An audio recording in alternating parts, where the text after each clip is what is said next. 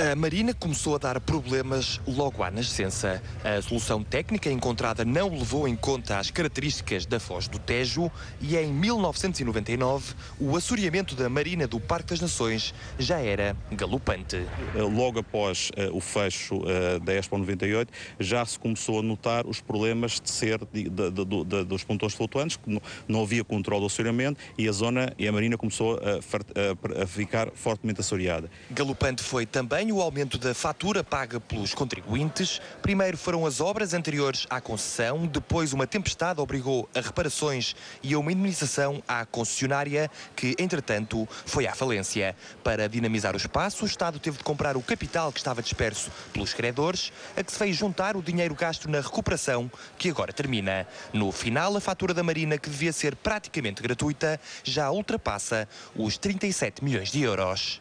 A solução que, que foi encontrada aqui foi, se efetivamente o assoreamento acontecia pelo facto de entrar água, vamos tentar fazer com que essa água entre apenas em metade do tempo. E, portanto, as comportas foram introduzidas para que a marina esteja aberta durante o dia, entre as 8h30 da manhã e as 8h30 da noite, e durante a noite vai estar fechada. Fora das contas ficam as rendas pagas pela Parque Expo a quem teve de retirar o barco da marina do Parque das Nações e alugar espaço no outro lado. Por contabilizar estão também os prejuízos para o comércio da zona e a desvalorização imobiliária. É a esperança que, que a marina vá movimentar isto, dar outro ambiente e isto tem estado está, está muito parado, muito morto.